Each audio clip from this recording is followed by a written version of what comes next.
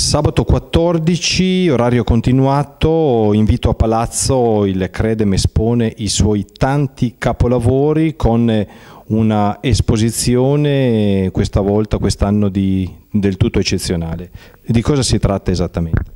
Ecco, quest'anno la banca ha deciso di aprire eh, di più, ancora di più le porte della sua collezione mostrando un dipinto che di solito è conservato eh, in spazi non accessibili al pubblico che è questo capolavoro di eh, Giacomo Balla intitolato Velmare, ehm, è un dipinto del 1919, eh, vedete che ehm, l'opera ha dei colori molto eleganti e eh, con questo dipinto momento Balla vuole raffigurare eh, diciamo, l'energia che sprigiona dalle onde del mare e eh, come le onde del mare si uniscono alle vele, per cui è un insieme di grande energia e anche nel colore vedete questi toni sul verde, sull'azzurro e rosa delle vele, è un insieme molto elegante, di grande raffinatezza e eh, appunto eh, abbiamo pensato che eh, fosse un un buon momento per mostrare questo dipinto anche perché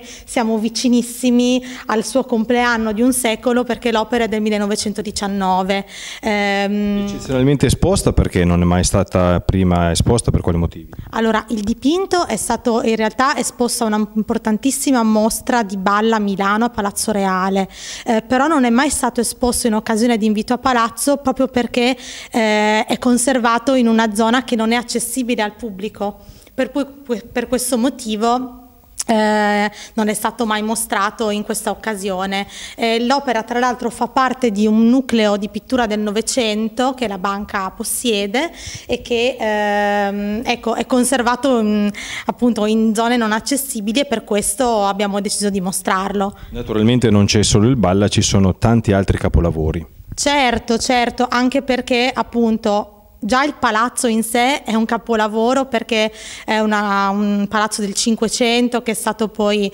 eh, progressivamente abbellito dalle famiglie che hanno abitato appunto la dimora storica dal 600 fino alla fine, del, fino alla fine dell'Ottocento sostanzialmente, quindi le famiglie Guicciardi e Spalletti Trivelli hanno reso questo palazzo così fastoso come lo vediamo oggi. E eh, appunto per volontà della banca ehm, dall'inizio degli anni, dalla metà degli anni 70 si sono formate due collezioni molto importanti. La prima è una collezione di dipinti antichi di scuola emiliana che eh, insomma, rappresentano la pittura emiliana dall'inizio dall del Cinquecento fino alla fine del Settecento. La seconda è una mh, mm, collezione di arte orientale tra le mm, più rare in Italia ehm, che è stata acquisita appunto per, eh, così, per dimostrare come ci siano insomma, due grandi culture, quella europea, quella orientale, che possono, insomma, che comunicavano già dall'antichità, pensiamo alla via della seta, quindi comunque